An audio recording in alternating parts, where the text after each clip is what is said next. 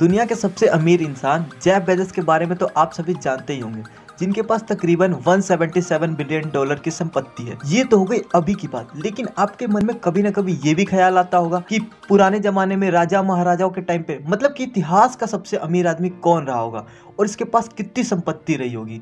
आज मैं आपको इस वीडियो में इसी के बारे में बताऊँगा तो चलिए जानते हैं।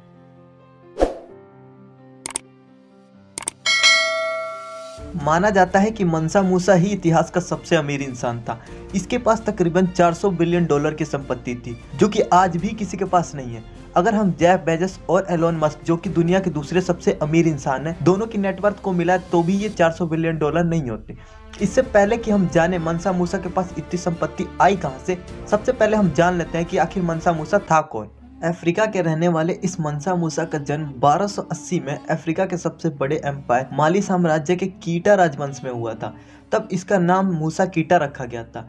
मनसा सब तो उसके नाम के आगे वहाँ का सम्राट बनने के बाद लगा, जिसका अर्थ ही होता है बादशाह। मनसा मूसा 1312 में माली एम्पायर का सम्राट बना। इसने लगभग 25 सालों तक माली पर राज किया और इन 25 सालों में इसने बेशुमार दौलत कमाया और लुटाया, जिसका सही सही अंदाज़ा लगा पाना तो मुश्किल है। मूसा ने ये सारी दौलत, नमक और सोने के कारोबार से कमाया था, क्योंकि उस समय माली में नमक और सोने के बड़ी मात्रा में भंडार मौजूद थे। माना जाता है कि उस समय माली में ही सबसे ज़्यादा सोने का उत्पादन होता था। यहाँ सालाना लगभग हज़ार किलो सोने का उत्पादन होता था। वो भी उस समय जब दुनिया भर में सोने की मांग पीक पर थी।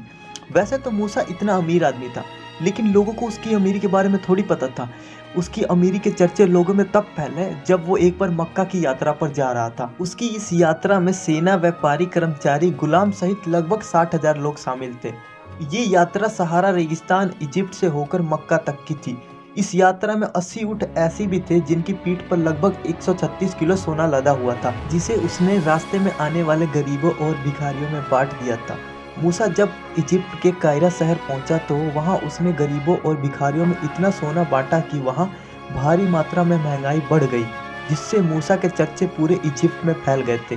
और उसे दूर दूर से लोग देखने आने लगे थे। पूरे यूरोप के लोग भी उसे देखने आने लगे थे। मूसा की बादशाहत का अंदाज़ा इस बात से भी लगाया जा सकता है कि जब वो मक्का की यात्रा पर जा रहा था तो उसने कई जगह और मकानों को यूँ ही खरीद लिया था, ताकि जब कोई मक्का की यात्रा पर आए तो उसे किसी बात की दिक्कत ना हो। मूसा अपने आप को एक सच्चा मुसलमान मानता था। जब वो मक्का से वापस आया तो उसने माली में कई भवनों, स्कूलों और मस्जिदों का निर्माण कराया था। जिसमें से कुछ अभी भी मौजूद है। मक्का से वापसी के बाद वो अब पूरी दुनिया में फ़ेमस हो चुका था। उसे दूर दूर से लोग देखने आने लगे थे, जिसके कुछ सालों बाद तेरह में मूसा की मृत्यु हो गई, जिसके बाद उसका बेटा शासक बना, लेकिन उसका शासनकाल ज़्यादा सालों तक टिक नहीं पाया और 100 सालों के अंदर ही पूरे कीटा राजवंश का नामो निशान मिट गया। आपको क्या लगता है कि अगर मूसा ज़िंदा होता तो क्या वो दुनिया का सबसे अमीर इंसान होता? कमेंट करके ज़रूर बताइएगा। अगर आपको वीडियो पसंद आई हो तो वीडियो को लाइक और चैनल को सब्सक्राइब कर दें।